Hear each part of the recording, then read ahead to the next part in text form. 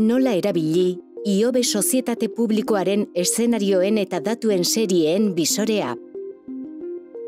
Eusko Jaurlaritzaren IOBE sozietate publikoaren eszenarioen eta datuen serien bisorea, GIS tresna bata, Euskal Autonomia Erkidegoko etorkizuneko klima nolakoa izango den jakiteko, eta Euskal Klimatologiaren datu historikoekin alderatzeko aukera ematen duena.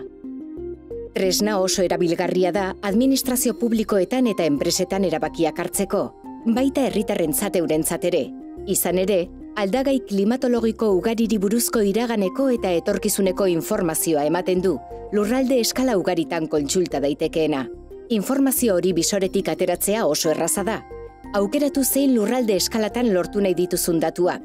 Lurralde historiko bat, udalerri bat edo beste eskala espazial zehatz bat izan daiteke espazioa aukeratu ondoren, gehien interesatzen diren aldagai meteorologikoak adiraztea baino ez da geratzen.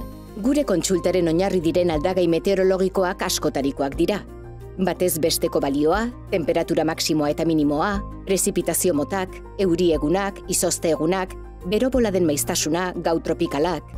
Gure kontsultari gehitu diezaiok egun beste aldagaietako bat, denbora aldagaia da, urte oso bat aukeratu dezakegu aldi moduan edo urtaroka aukeratu dezakegu. Aldagaien datuak kombinatuz, esenarioen bisoreak denbora tarteen arteko konparazioak egiteko aukera ematen du.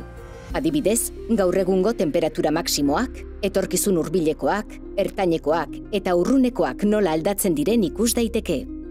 Aldiak hautatuta, mapan dauden aldeak ikus ditzakegu. Udalerri bat hauta dezakegu, bai zerrendan klik eginda, baiaren izena sartuta. Jarraian, ikusi serie temporala sakatuta, hautatu dugun aldagaiaren bilakaera historikoa lortuko genuke. Etorkizuneko datuetara aldagaitezke, berriz mapari begiratu beharrik eduki gabe. Amabi proiektzio kalkulatu diren arren, oikoena proiektzioen batez bestekoa ikustea da. Menuan esportazioa botoia daukagu.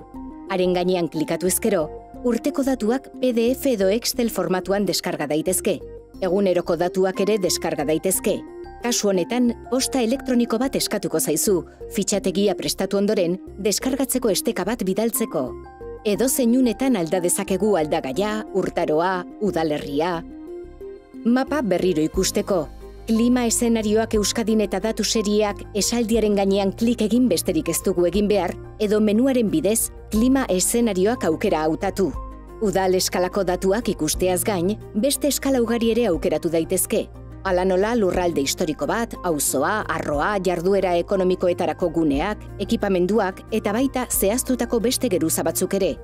Gainera, maparen gainean ere jakin bat hauta daiteke, poligonoak aukeratuz eta saguarekin marrastuz. Menuaren bidez, estekak eta dokumentazioa atalera sargaitezke, bertatik honako hauek sargaitezke. Aurreko proiektuetan garatutako datuetarako estekak. Geo Euskadirako sarbidea. Bertan Euskal Autonomia Erkidegoko bisore geografiko honetako adierazle nagusiak eta gainerako informazio geruzak ikus daitezke. Euskadirako baiezmen handiko klima esenarioei buruzko aurkezpen interaktibo baterako esteka.